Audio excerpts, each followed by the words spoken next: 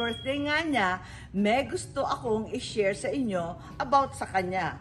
Well, eto yung lumang hat, alam na ninyo, yung golf hat niya, at about sa langgam na hindi pumapatay ng langgam si Apolacay. Ganun din, favorite son, daw ni Doña Josefa at naging favorite son ng Ilocos. Pero napaka-stricta ng aking Lola Sepa. Ewan ko kung anong favorite. Ako rin daw favorite. Ewan ko lang, di ko rin. Bata pa lang si FM, eh talagang super achiever na at mataas ang grado lagi na magagalit ang Lola at pati ang Lolo na si Diputado Mariano Marcos. Mga infrastructure na kanyang itinatag, alam natin kung bakit.